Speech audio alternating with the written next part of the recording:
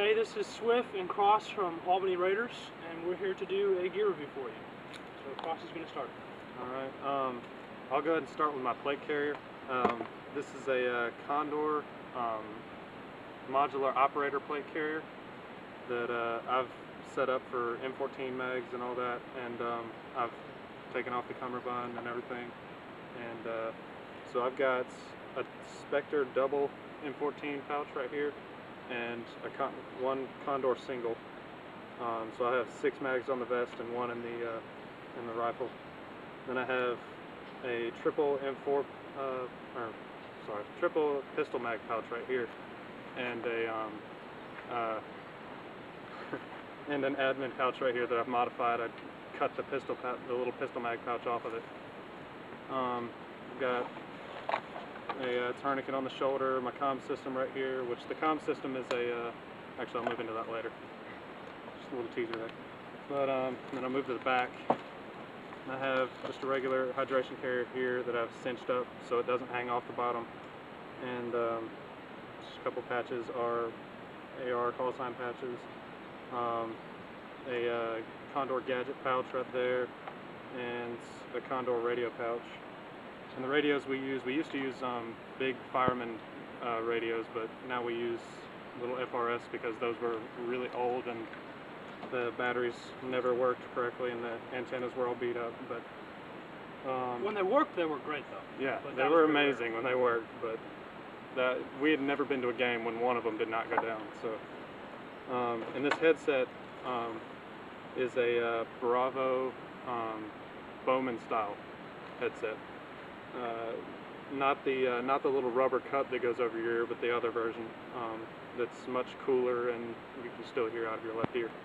But it's uh, it's very nice, and I have it run through this BTC right here, running up through clip to the pistol mag pouch, and it just runs through the shoulder pads.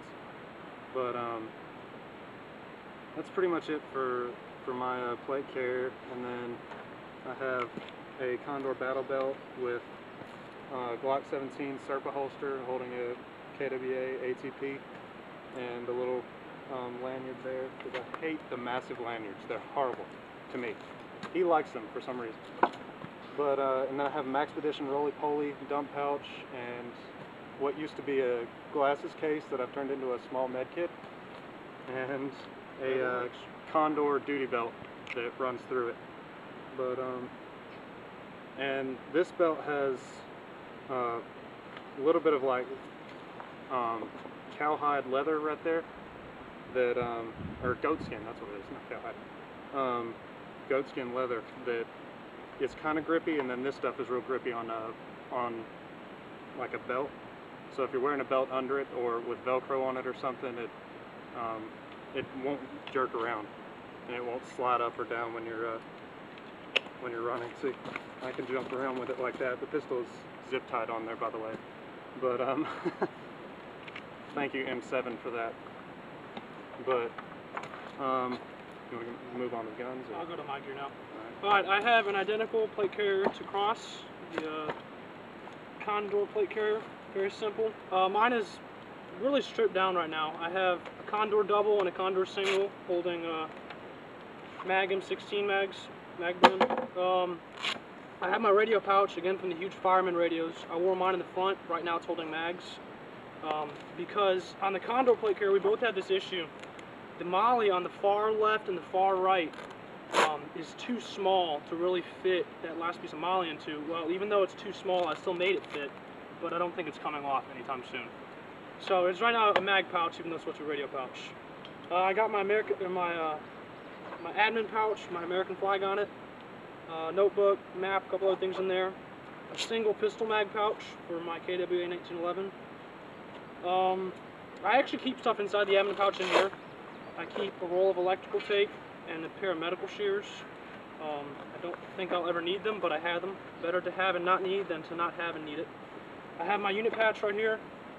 Um, a bungee sling. I got this off an Air Force base for like 15 bucks because apparently airmen don't buy bungee slings, so they sell them for really cheap. Uh, on the back, I have absolutely nothing.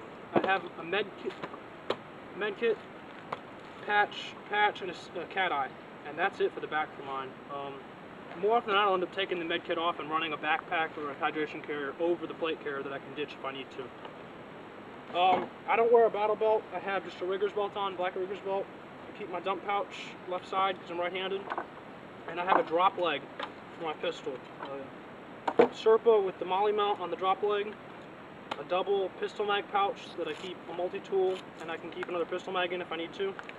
And I took the uh, the clip off so it runs up really high, almost to where it's just a normal holster. Uh, it goes up really high. It won't go forward and backward.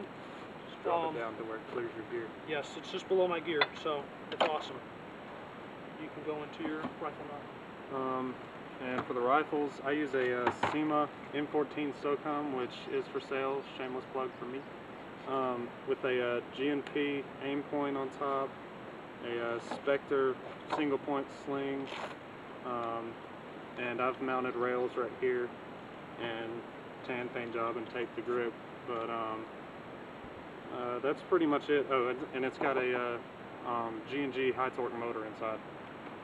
But um, and I use King Arms mags, which they feed well once you uh, once you really break them in. They have a long break-in period.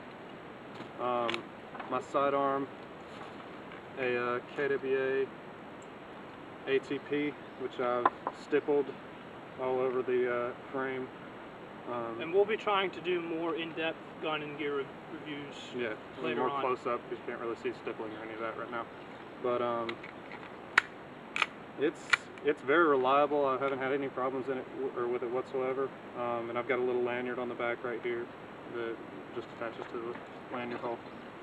But um, that's and I usually I would be sniping more often, but this one is not operational at this point. But um, it's a KJ or KJW M700 that I got for a really good deal. So uh, I was planning on upgrading it, and soon I should have the uh, the money from selling a, a different gun. Um, that uh, I should be able to finish upgrading this to make it where it'll shoot um, competitively, um, make or running off of CO2 and all that. And um, uh, and then like minor gear, gloves, which are just I found these at Big Lots for eight dollars and fell in love with them. I didn't know. Shame. Um, and a brown mesh shemagh, green regular shemagh for whatever reason. Um, you want to go into iPro? Yeah, go ahead. Um, I have Bobster Ekko convertibles. Um, they'll convert from the from the uh, strap goggles with uh, foam on the inside to just regular glasses with a little retention strap um, with uh, shaded like tinted or uh, or clear lenses. Feel all alone now. Feel all feel all lonely. And, there. um, and both of us use uh, Thunder Bs, which are sometimes uh, unreliable and sometimes very reliable. It depends uh, on whether they just decide to work. But um, yeah, that's pretty much it for me. I mean, I've got call sign patches and all that all over my rig. Um, the Texas "Don't Tread on Me" pat, the patch. Um, and that's pretty much it for me. I have, uh, usually I wear mesh goggles. I got them off EB Airsoft, but I let them at home. Uh, so here's my backup iPro, or for like a game where you have to have full seal, you can't use normal iPro. These are uh, Wiley X's. Um, they're pretty comfortable. You have to wear a strap with them almost because they're really loose on my face, like that. Um, so you normally I wear the goggle strap with them. They're good to go. Clear and shaded lenses. Um, and I'm just going to do a reverse of what Cross did. So that's my iPro, and then obviously mesh goggles is what I normally wear. Um, I have my KWA Mark III 1911 professional training pistol. Um, I'm a huge fan of the 1911 personally. Cross enjoys his uh, his ATP model after the Glock. I like the 1911. Just a personal preference. Um, and then I have my KWA M4 RIS, which again running the G&P aim point, um, vertical, uh, folding front and rear sights, and Magpul to some extent. I have a mag pull uh, pistol grip in the mail right now on the way here, so it will be even more mag pulled soon. Um, I don't really have much else. Okay. Um, and uh, one thing I, one other thing I wanted to talk about was uh, our camo. We we use um, Marine Corps issue Marpat, and this is Desert Marpat. We also wear Woodland for whatever climate or uh, environment. But um, uh, our boots and our hats are another thing. I'll start with boots. Um, I wear uh, Merrell Sawtooths. These are easily the most comfortable boots I've ever worn. They're uh, they're not very flexible, which is a good thing for some people, bad thing for others. They're not like a tennis shoe, but they uh, like if you're if you're kneeling down and you're um, kneeling on your feet, you don't have to um, you, you your toes don't get um, Squished, and squished. So when you stand up, you don't have pain in your toes. Um, but they're awesome. I got them for 115 off of uh, shoebuy.com. They're amazing boots. But uh, and then our hats. Um, these are US Cav um, uh, brand hats that came with uh, embroidery on the back and a little US flag on the top. And believe it the or not, they're actually the same hat, even though I don't know if you can tell on the camera, they're completely different shades. His didn't come that shade, did it? I think it did. I think, I don't know. Either I think it's they're the same hat or I just wear mine a lot more than he does. Yeah, you. I don't wear mine very often. Um, but, um, I wear mine all around town. And then I wear just Marine Corps issue, even have the EGA on them, normal Bates- issue um, boots. I do wear the steel toe, even though we play field, um, mainly because that's the pair of boots that I have. If I went out and bought a pair without steel toe, I'd wear those. Steel toe are fine, they're heavy duty, they match good. Um, that's it. We both wear riggers belts. Yeah. Uh, His is a Black Hawk, mine's a Condor. everyone on our team just about wears rigger, riggers belts or the issue uh, like Marshall, Marine Corps MCMAP belts. Um, just because they work good to keep your pants up. So that's kind of what the belt's for. And most of them, including uh, most of the MCMAP belt or belts, work decently to hold a pistol. So, They're pretty rigid. all right, um, that's pretty much it. Um, we'll uh, we'll get a we'll get more videos, especially more in-depth stuff on the guns, um, The and uh, like more specialized reviews on the gear. But uh, um, that's pretty much it for today. And thanks for we'll, watching. uh, yeah, thanks for watching.